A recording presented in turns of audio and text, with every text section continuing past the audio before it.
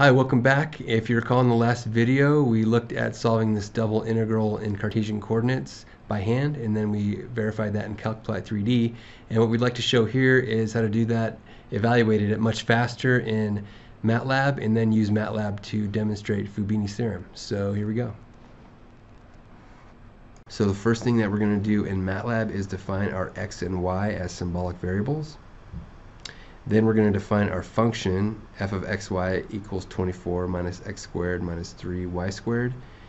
And finally, our single command here, we're just going to use the integrate command, int, but we're going to use nested integrals and sort of evaluate this in MATLAB just like we did by hand. We're going to have that inside integral of our function with respect to y, where y range from 0 to 2, that's our inside.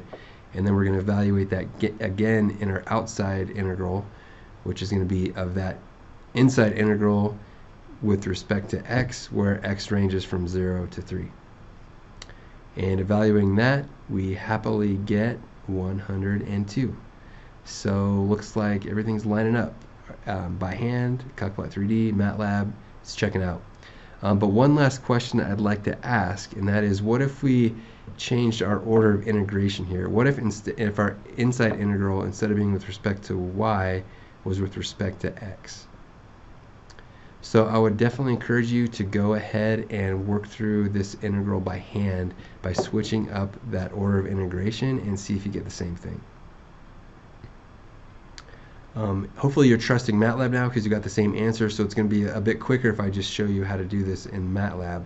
So um, we got our function defined and our variables already so all we need to do is change our inside integral here to the integral with respect to x over the range 0 to 3 and our outside integral becomes with respect to y over our range 0 to 2 and evaluating that we end up with 102 so we've shown this um, volume here under the surface in many different ways now.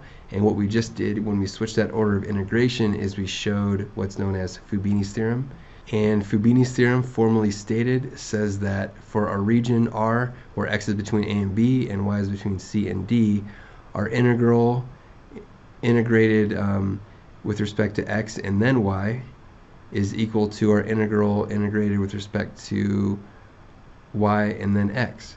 And notice that these are, um, this equality is certainly contingent on those limits of x um, following x and those limits of y following where the y is. And generally we can just say this is equal to our integral of f with respect to x and y dA and we're going to integrate that over our double integral over the general region R. So basically it just says we can freely switch our order of integration as long as we keep our bounds consistent and as long as those bounds are just numbers.